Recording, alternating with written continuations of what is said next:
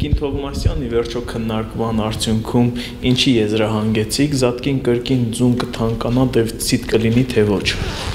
Լսելով դաշտի դերակատարների բոլոր տեսակետները, ինձ մոտ այնպիսի համոզում ձևավորվեց, որ միանշանակ մենք զատկին ունենալու ենք ձվի դեֆիցիտ։ Եվ հավքիթի ներգրմամբ, եթե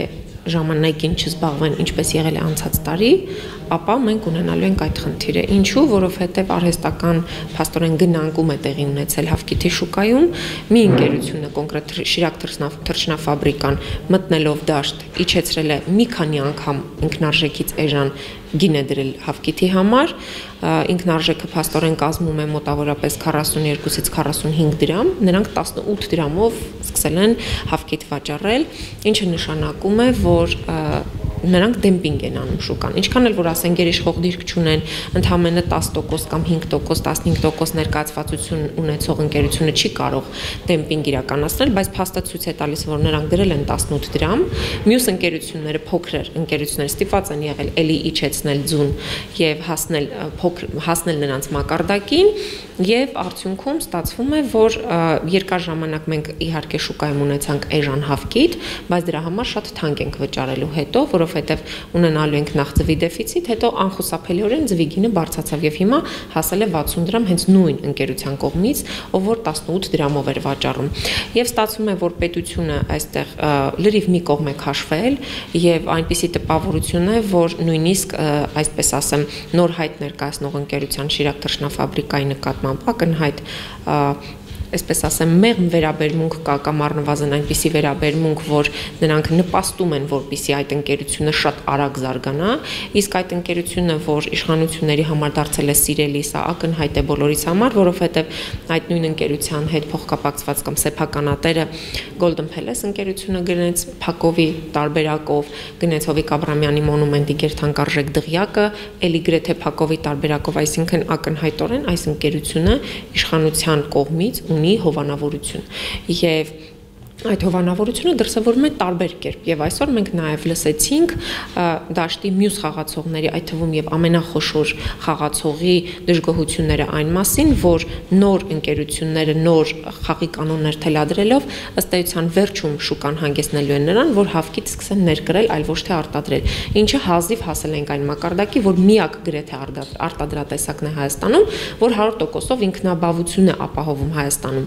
Եվ ստացվում է, որ կարճ ժամանակում եթե շուկայի կարգավորման ուղղությամբ քայլեր չիրականացվեն, մենք նաև այս շուկան կկորցնենք եւ կսկսենք զբաղվել որպես երկիր նաև հավկիթի ներմուծմամբ, ինչը մեղմ ասած անթույլատրելի է։ Իսկ շուկայի կարգավորման համար ինչպիսի առաջարկներ հնչեցին իրենց կողմից, որոնք որ կարող են որոշակի, այսպես ասած, փոփոխություններ մտցնել։ Առաջարկություններից մեկը այն էր, որ նախ լիցենզավորվի, որովհետև հիմա սերտիֆիկատով է իրականացվում ձվի արտադրությունը։ Լիցենզավորի, որպիսի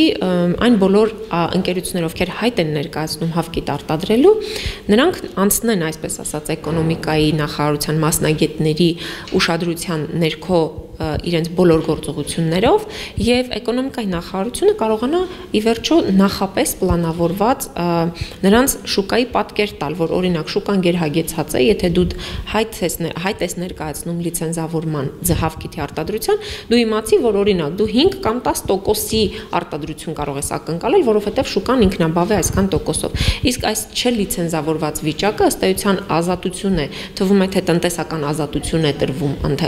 բոլոր ընկեր ընկերություններին, բայց մյուս կողմից ստացվում է, որ մի ընկերությունը տուժելու է եւ կամած-կամած ով որ բարձանա հասնի գերիշխող դիրք ունեցող ընկերության անպայման հետո անկում է ապրելու, այսինքն այս շուկան այդպես էլ չի կարգավորվելու։ Առաջարկներից մեկը լիցենզավորումն էր, երկրորդ առաջարկը դրոշմապիտակավորումը, որ ձուն ունենա կոնկրետ դրոշմապիտակ։ Այսպիսով մենք նաև ստվերից ստվերի դեմ կպայքարենք։ Ինչու, որովհետև ակնհայտորեն նոր մտնող ընկերությունները կարող են ստվերով ստվերիում գտնվող արտադրատեսակ ունենալ, դրանք մտցնել շուկա եւ չկա վերահսկողություն ըստ էության։ Այսինքն, եթե ուզում ենք դաշտը կարգավորվի, նաեւ պետք է մտածենք ստվերից դուրս գալու մասին։ Իսկ ստվերից հնարավոր է դուրս գալ դրոշմապիտակների միջոցով։ Անդրադարձ կատարվեց նաեւ դրշնամասին, այդ ինչ ինչպիսի խնդիրներ կարող են առաջանալ, հատկապես երբ նշվում է, որ կերը հա ներկրվում էր որոշակի չափով Ուկրաինայից։ Ես հասկացա մասնագիտական քննարկման արդյունքում, որ նաև մենք առաջիկայում ունենալու ենք թռչնամսի դեֆիցիտ Հայաստանում, որովհետև նախ արգելանքները սկսել են շատ դնել այլ երկրներից պայմանավորված տարբեր տեսակի հիվանդություններով, դրան գումարած ՀԱՏՄ-ի մաքսատուրքերի բարձացումը եւ դրան գումարած նաև ճանապարհների փակ լինելը պատերազմական սանկցիաները եւ այդ պատժամիջոցների արդյունքում ըստ էության մենք չենք կարողանում առնվազն երկու երկրից, իսկ նրանք մեր հիմնական